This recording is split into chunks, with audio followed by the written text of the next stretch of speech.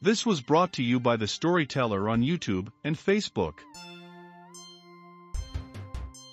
The Blind Owl. In this mean world of wretchedness and misery, I thought that for once a ray of sunlight had broken upon my life. Alas, it was not sunlight, but a passing gleam, a falling star, which flashed upon me, in the form of a woman, or of an angel. In its light, in the course of a second, of a single moment, I beheld all the wretchedness of my existence, and apprehended the glory and splendor of the star. After, that brightness disappeared again in the whirlpool of darkness, in which it was bound inevitably to disappear. I was unable to retain that passing gleam. It is three months. No, it is two months and four days since I lost her from sight, but the memory of those magic eyes, of the fatal radiance of those eyes, has remained with me at all times. How can I forget her, who is so intimately bound up with my own existence? No, I shall never utter her name, for now, with her slender, ethereal, misty form, her great, shining, wondering eyes, in the depths of which my life has slowly and painfully burned and melted away, she no longer belongs to this mean, cruel world. No, I must not defile her name by contact with earthly things. After she had gone I withdrew from the company of man, from the company of the stupid, and the successful. Life passed, and still passes, within the four walls of my room. All my life has passed within four walls. I used to work through the day, decorating the covers of pen cases. Or, rather, I spent on my trade of pen case decorator the time that I did not devote to wine and opium. I had chosen this ludicrous trade of pen case decorator only in order to stupefy myself, in order somehow or other to kill time. I am for fortunate in that the house where I live is situated beyond the edge of the city, in a quiet district far from the noise and bustle of life. It is completely isolated and around it lie ruins. Only on the far side of the gully, one can see a number of squat mud brick houses, which mark the extreme limit of the city. They must have been built by some fool or madman, heaven knows how long ago. When I shut my eyes not only can I see every detail of their structure, but I seem to feel the weight of them pressing on my shoulders. They are the sort of houses which one finds depicted only on the covers of ancient pen cases. I am obliged to set all this down on paper in order to disentangle the various threads of my story. I am obliged to explain it all for the benefit of my shadow on the wall. Yes, in the past only one consolation, and that a poor one, remained to me. Within the four walls of my room I painted my pictures on the pen cases and thereby, thanks to this ludicrous occupation of mine, managed to get through the day. But when once I had seen those two eyes, once I had seen her, activity of any sort lost all meaning, all content, all value for me. I would mention a strange, an incredible thing. For some reason unknown to me the subject of all my painting was from the very beginning one and the same. It consisted always of a cypress tree at the foot of which was squatting a bent old man like an Indian fakir. He had a long cloak wrapped about him, and wore a turban on his head. The index finger of his left hand was pressed to his lips in a gesture of surprise. Before him stood a girl in a long black dress, leaning towards him and offering him a flower of morning glory. Between them ran a little stream.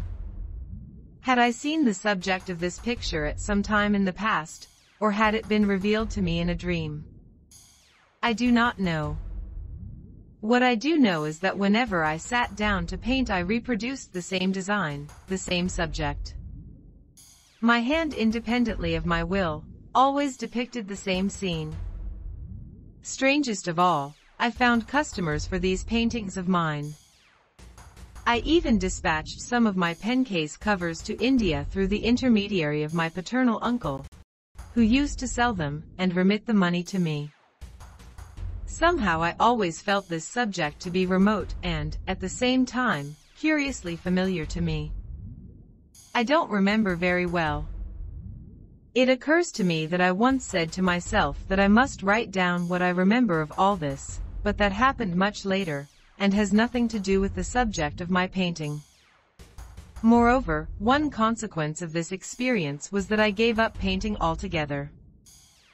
That was two months, or, rather exactly, two months and four days ago. It was the 13th day of Nowruz, the national festival of Iran. It begins on March 21st and lasts for 13 days. It is the custom to spend the last day of Nowruz picnicking in the country. Everyone had gone out to the country. I had shut the window of my room in order to be able to concentrate on my painting. It was not long before sunset, and I was working away, when suddenly the door opened, and my uncle came into the room. That is, he said he was my uncle. I had never seen my uncle in my life, for he had been abroad ever since his early youth. I seem to remember that he was a sea captain. I imagined he might have some business matter to discuss with me, since I understood that he was interested in commerce as well. At all events my uncle was a bent old man, with an Indian turban on his head, and a ragged yellow cloak on his back. His face was partly concealed by a scarf wrapped around his neck, his shirt was open and revealed a hairy chest. It would have been possible to count the hairs of the sparse beard protruding from under the scarf which muffled his neck. His eyelids were red and sore, and he had a hare lip. He resembled me in a remote, comical way like a reflection in a distorting mirror. I had always pictured my father something like this. On entering the room he walked straight across to the opposite wall, and squatted on the floor. It occurred to me that I ought to offer him some refreshment in honor of his arrival. I lit the lamp and went into the little dark closet, which opens off my room. I searched every corner in the hope of finding something suitable to offer him, although I knew there was nothing of the sort in the house. I had I had no opium or drink left. Suddenly my eye lighted on the topmost of the shelves on the wall. It was as though I had had a flash of inspiration. On the shelf stood a bottle of old wine, which had been left me by my parents. I seemed to remember hearing that it had been laid down on the occasion of my birth. There it was on the top shelf. I had never so much as given it a thought, and had quite forgotten there was such a thing in the house. To reach the shelf I got up onto a stool which happened to be there. As I reached towards the bottle, I chanced to look out through the ventilation hole above the shelf. On the open ground outside my room I saw a bent old man sitting at the foot of a cypress tree, with a young girl. No, an angel from heaven. Stand standing before him. She was leaning forward, and with her right hand was offering him a blue flower of morning glory. The old man was biting the nail of the index finger of his left hand. The girl was directly opposite me, but she appeared to be quite unaware of her surroundings. She was gazing straight ahead without looking at anything in particular. She wore on her lips a vague, involuntary smile, as though she was thinking of someone who was absent. It was then that I first beheld those frightening, magic eyes, those eyes which seemed to express a bitter reproach to mankind, with their look of anxiety and wonder, of menace and promise, and the current of my existence was drawn towards those shining eyes charged with manifold significance and sank into their depths. That magnetic mirror drew my entire being towards it with inconceivable force. They were slanting, Turkoman eyes of supernatural, intoxicating radiance, which at once frightened and attracted, as though they had looked upon terrible, transcendental things which it was given to no one but her to see. Her cheekbones were prominent and her forehead high. Her eyebrows were slender and met in the middle. Her lips were full and half open as though they had broken away only a moment before from a long, passionate kiss, and were not yet sated. Her face, pale as the moon, was framed in the mass of her black, disheveled hair, and one strand clung to her temple. The fineness of her limbs, and the ethereal unconstraint of her movements marked her as one who was not fated to live long in this world. No one but a Hindu temple dancer could have possessed her harmonious grace of movement. Her air of mingled gaiety and sadness set her apart from ordinary mankind. Her beauty was extraordinary. She reminded me of a vision seen in an opium sleep. She aroused in me a heat of passion like that which is kindled by the mandrake root. It seemed to me as I gazed at her long, slender form, with its harmonious lines of shoulder, arms, breasts, waist, buttocks and legs, that she had been torn from her husband's embrace, that she was like the female mandrake which has been plucked from the arms of its mate.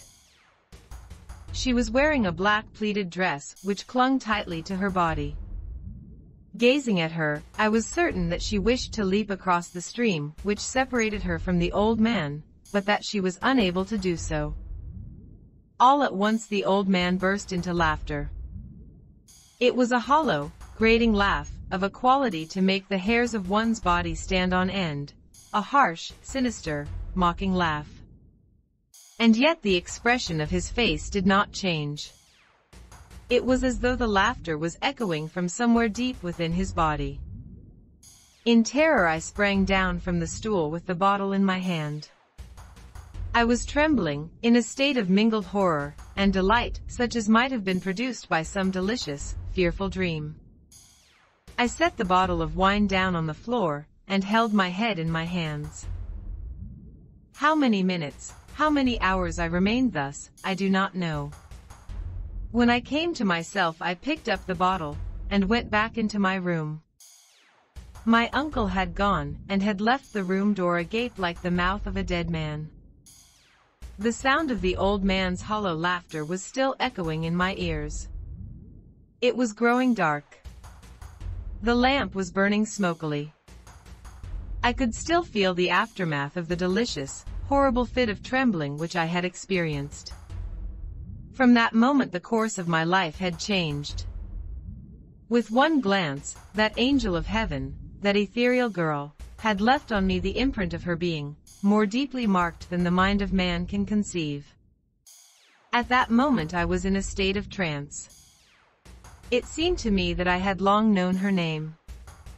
The radiance of her eyes, her complexion, her perfume, her movements, all appeared familiar to me, as though, in some previous existence in a world of dreams, my soul had lived side by side with hers, had sprung from the same root, and the same stock, and it was inevitable that we should be brought together again.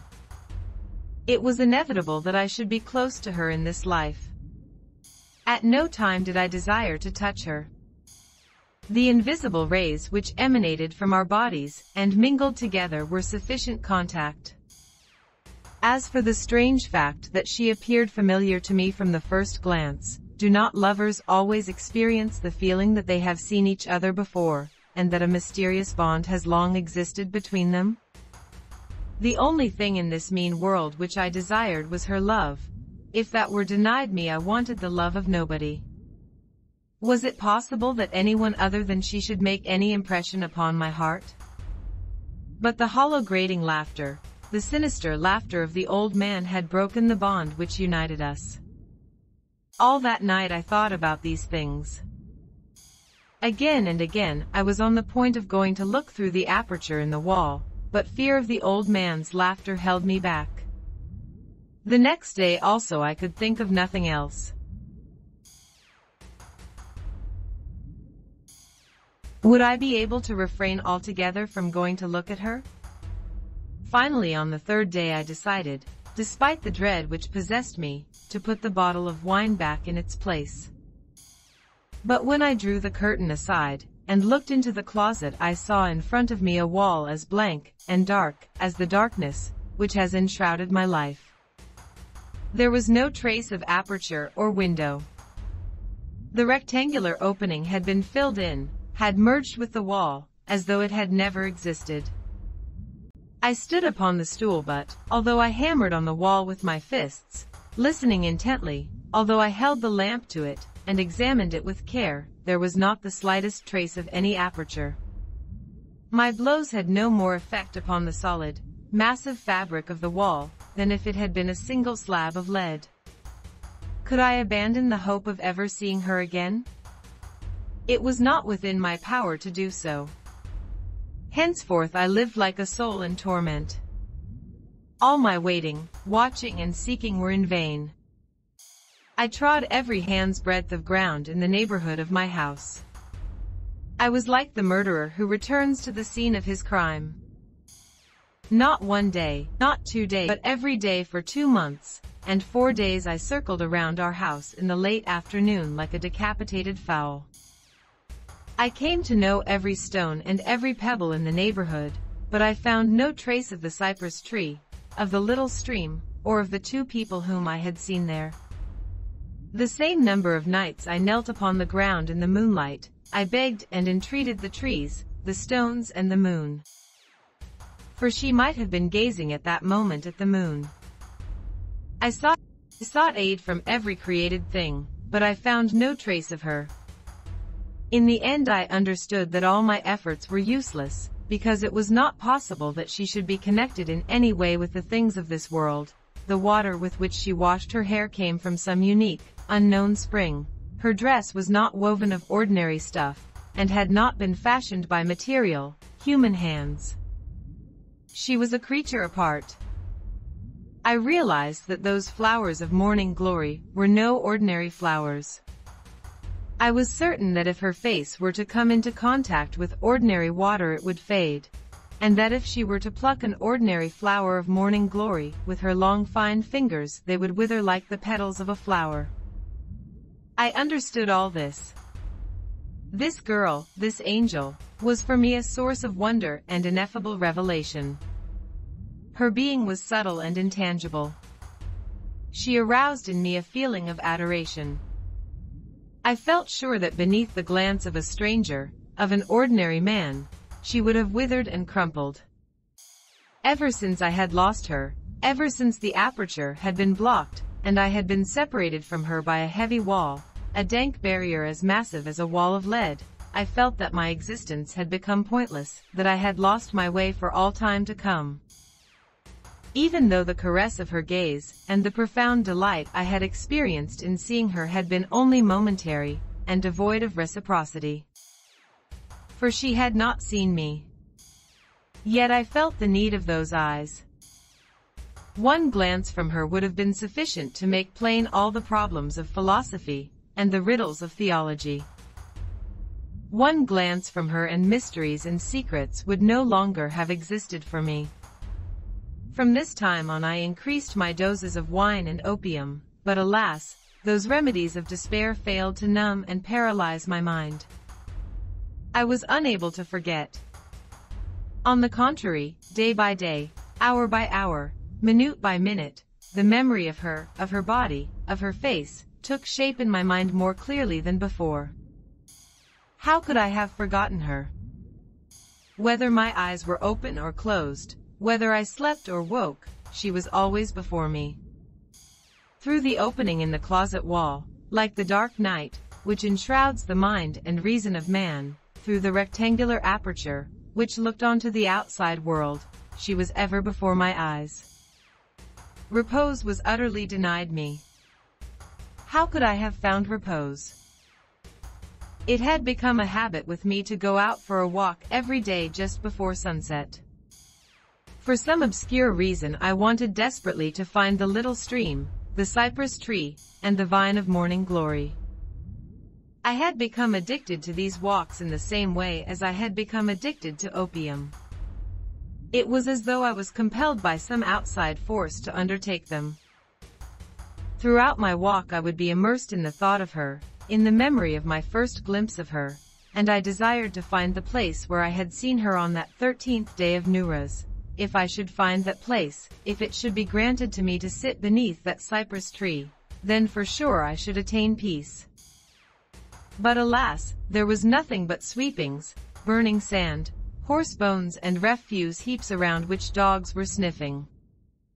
Had I ever really encountered her? Never. All that had happened was that I had looked furtively, covertly at her through a hole, a cursed aperture in my closet wall. I was like a hungry dog sniffing and rooting in a refuse heap. When people come to dump garbage on the pile, he runs away and hides, only to return later to renew his search for tasty morsels.